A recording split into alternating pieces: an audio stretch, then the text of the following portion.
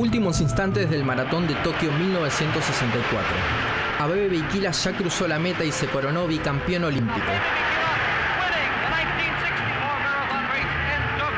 El japonés Kokichi Tsuburaya ingresa al estadio en el segundo puesto y la multitud enloquece.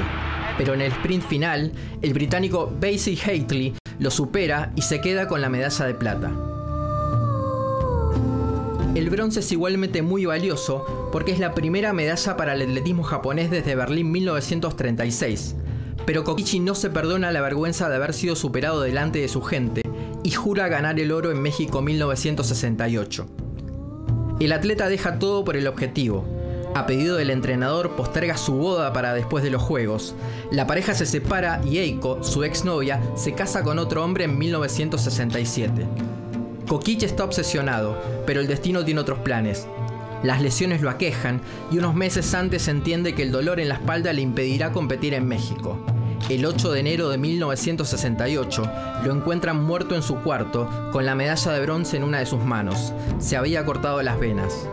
A su lado, una nota. Querido papá, querida mamá, su coquiche está muy cansado para seguir corriendo. Perdónenlo.